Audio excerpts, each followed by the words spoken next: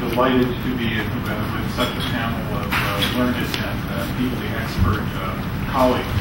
Uh, the first thing I'd like to say is that if we had been uh, meeting about this time 16 months ago or so, we would have probably had a report from another foreign policy campaign called Sounding the Alarm, Ukraine's Drift uh, towards Russia's embrace and uh, away from its uh, national uh, identity.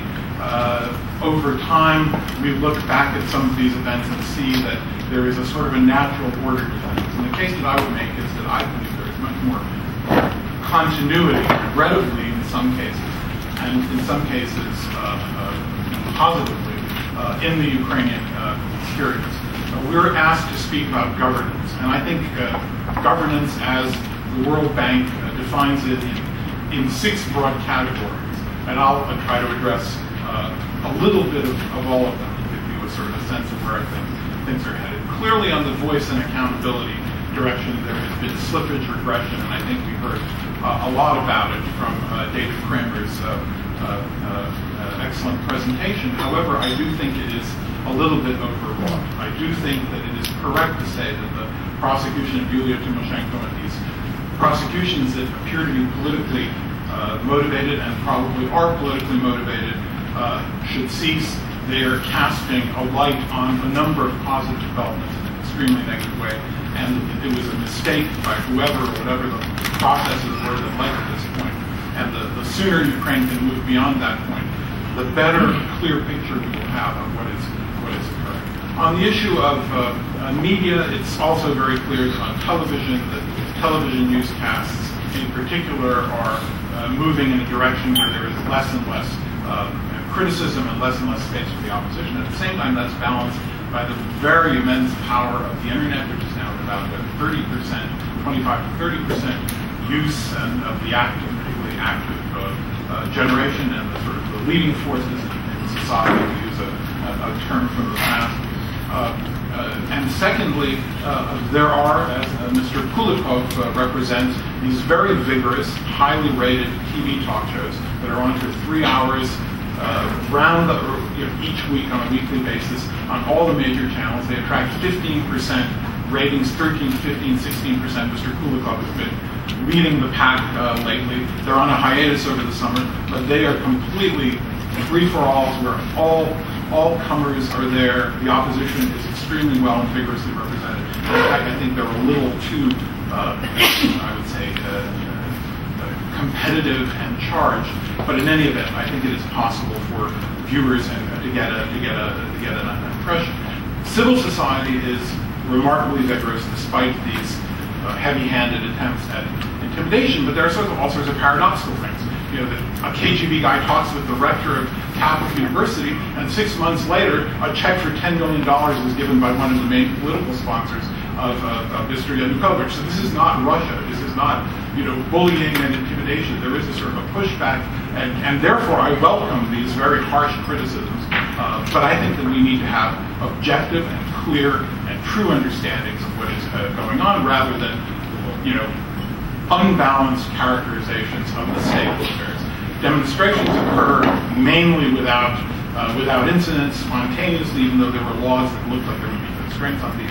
The, atmosphere is not one where you know people are being marshaled, pushed back, uh, harassed, and so on. There are problems. There are serious problems in the way media are treated by uh, the, the, the, president's uh, guard and, and so on. And those issues also have to be. But again, all of this looks much more negative, much more dramatic in the light of this uh, prosecution of Mrs. Tymoshenko and this even more uh, outrageous prosecution of, uh, Mr. Lutsenko, the former interior minister, for a very minor, minor offense. Let's talk a little bit about other, other, other issues.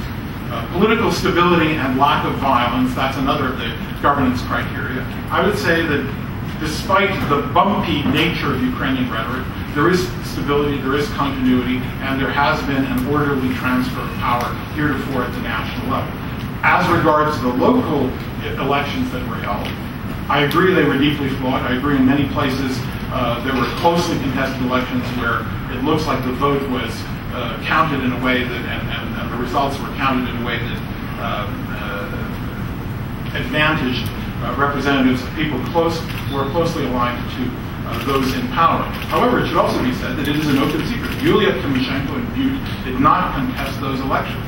No money was spent on those elections. There were no advertising campaigns. There were no national money spent. She basically decided not to contest the elections, but to contest the holding of the elections.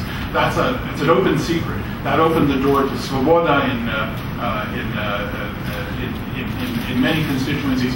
Uh, she had internal three different factions and leaders vying for the leadership in the Lviv, Lviv administration. So it was a, it was not all purely. And then she refused to back, to urge her voters to vote for other constructive alternatives to, to, to boost. She basically opted out of places where she was not allowed to register in, in Western Ukraine. So I think there's a, you know, there's a little bit of, I think both parties contributed, uh, contributed to, to, this state of affairs.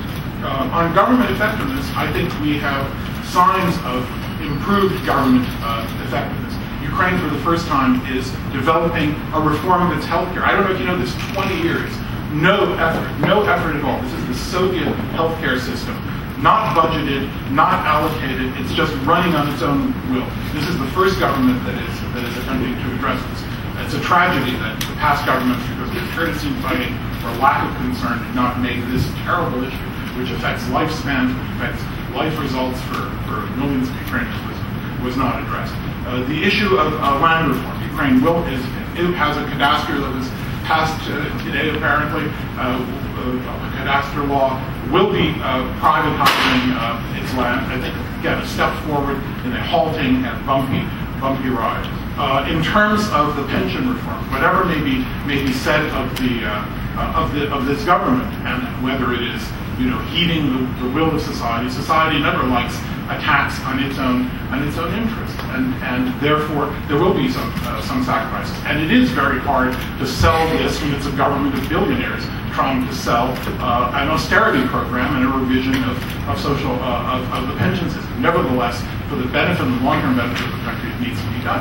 I think that the problem is not that the government is not attempting this reform. I think that the problem is that the, the government and the, the, the group of people that are running this country country is overly represented by, you know, extremely rich, uh, extremely rich people, and it is extremely hard for that type of, uh, under that type of a circumstance, uh, to put forward that idea. On regulatory quality, lots of problems, but the reduction in staff of 30% across the board will mean fewer people to implement onerous regulations. That means just by, without changing even regulations, by having fewer people having the time to meddle with small business and so on, we're going to have longer term improvements uh, in terms of the space for, for ordinary law. In terms of the rule of law, the Tymoshenko case is typical of what we, you know, of, of the sad state of the lack of independence of the Ukrainian judiciary. But here again, I don't see a huge regression. What we saw before was a terribly corrupted and imperfect judicial system, which was able to function more or less on its own because of the sharp division of power and internecine fighting. Nothing fundamental changed in terms of the independence of the judiciary. It's just that power was structured in one direction, and the judiciary now bends the power here, whereas before, they, some bent in the direction of Yulia Tymoshenko, some bent in the direction of Yanukovych, and some bent in the direction of, of, uh, of, of Yushchenko. But the, the fundamental problem uh, existed, remained, and remains uh, from the period uh, preceding. Uh, on one rule of law issue where I do think there is some progress, and that is, you know, we may have differences of opinion on this table, but I do think that the renewal of the serious prosecution and investigation of the role of President uh, Kuchma is also an answer to the fact that Yanukovych does not uh, uh, only, that only goes after his political opponents. This is the person that launched his political career, that nominated him to be president.